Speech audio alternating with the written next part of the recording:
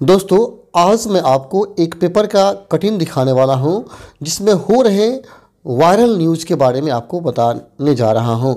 दोस्तों, मैं आपको बता दूँ, अगर आप इस पेपर को अच्छा से नहीं समझते हैं तो आपका एग्ज़ाम छूट सकता है और आप आगामी बहाली में शामिल नहीं हो पाएँगे, यानी आप बर्बाद हो जाएँगे। अतः आप इस न्यूज़ को पूरा समझिए और इसे अधिक से अधिक शेयर कीजिए, ताकि किसी का एग्ज़ाम छूटे नहीं और वह व्यक्ति परीक्षा में बैठ सके।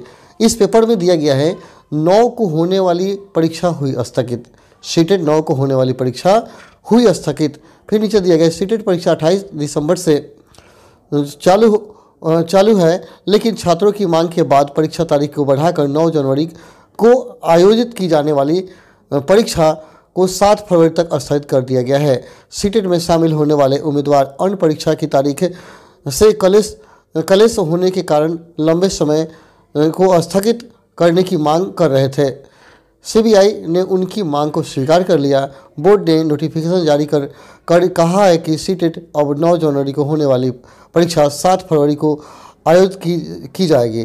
परीक्षा का मोड कंप्यूटर बेस्ड होगा। लेकिन आप देखें, इसमें दिया गया कि 9 जनवरी को होने वाली परीक्षा क्या होगी? स्थगित हो गई। लेकिन यह गलत है, ऐसा कुछ नहीं है।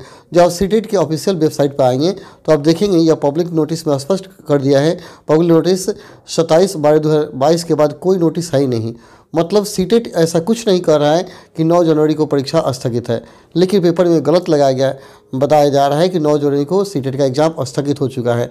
अतः जिन छात्रों का एग्ज़ाम है, वे एग्ज़ाम ज़रूर जाएँ, क्योंकि उनका परीक्षा स्थगित नहीं है। इस पेपर को पढ़ करके आप घबराएँ नहीं और एग्ज़ाम अपना छोड़ें नहीं, क्योंकि आपका एग्ज़ाम नौ जनवरी को होगा।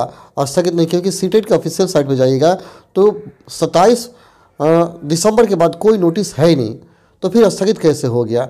इसका तो आप देखिएगा जो नोटिस भी निकाला गया है, इस नोटिस में क्लियर कर दिया गया है, जो सी बी एग्ज़ाम है, वो नौ जनवरी जनवरी से लेकर सात फरवरी तक लगातार होंगे।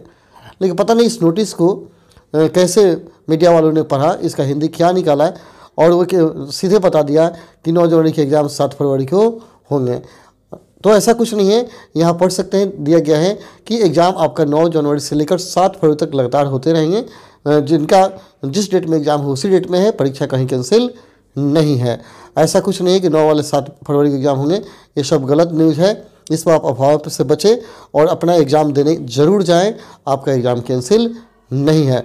जब भी कैंसिल होगा तो सीटेट के ऑफिशियल वेबसाइट पर ज़रूर से बता दिया जाएगा। ऑफिशियल साइट पर ज़रूर नोटिस निकाला जाएगा कि एग्ज़ाम कैंसिल हो गया, लेकिन ऑफिशियल साइट पर जाएँगे तो ऐसा कोई नोटिस कहीं भी पब्लिक नोटिस नहीं है। अतः आप घबराए नहीं, आप एग्ज़ाम देने जाएँ और इस वीडियो को अधिक से अधिक शेयर करें ताकि किसी बच्चा का कोई एग्ज़ाम छूटे नहीं। तो ये सूचना देना था। आशा करता हूँ कि आपको वीडियो अच्छा लगा होगा। चलिए फिर मिलते हैं अगले वीडियो में। तब तक लिए धन्यवाद। जय हिंद, जय भारत।